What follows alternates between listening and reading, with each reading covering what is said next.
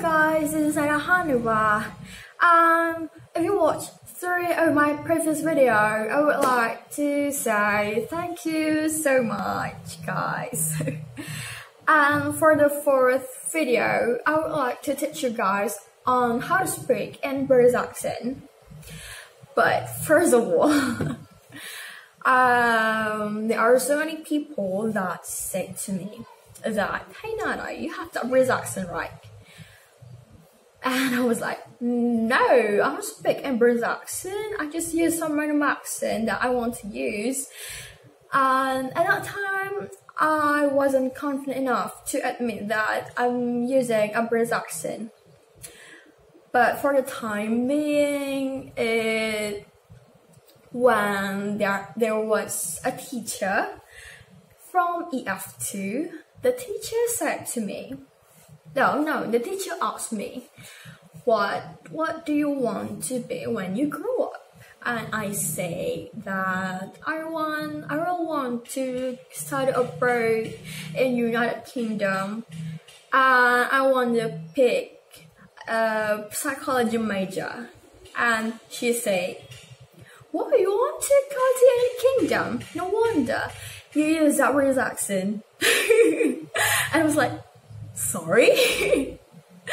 and then they say, no wonder you use British accent. I was like, oh my god. There are so many people that say to me that I um, use a accent. Okay, enough. and for this video, I would like to teach you guys on how to speak in British accent, so stay tuned. Lesson number one.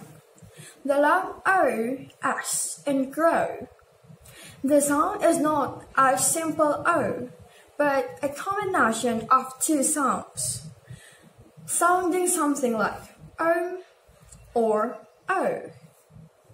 No, go, home, alone, grow, solo, notion, explode. Lesson number two more of same sound of the proto as in prot. For example, pull, auto, awful, flawless, call, wall, walk, talk, thought, brought. So number three. If the final Y runs right into a word beginning with a vowel, you won't be able to soften the sound quite as much. For example, Mary is here. He's very active. Some lovely apples. It's raining outside. I hope you guys can hear my voice clearly. Um, this is the end of the lesson. But before I close this video, I would like to show you my tips. And the tips is if you want to improve your British accent, you can follow the those native speakers when they speak.